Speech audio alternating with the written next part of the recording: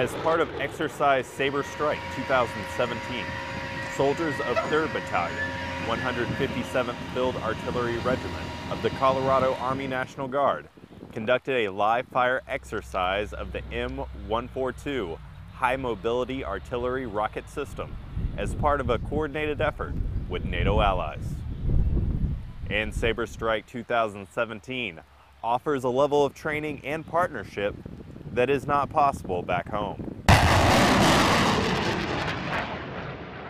So the difference uh, training over here versus training in Colorado uh, is really two things. It's the terrain um, and the environment is a little bit different, so we get to test the capabilities and abilities of our equipment over here in a, in a foreign country, the logistics of getting a unit over here and all that.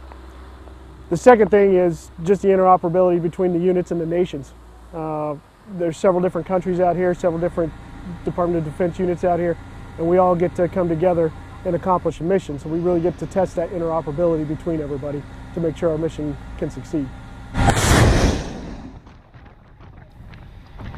From Adazi Latvia, I'm Army Sergeant Josh Joyner.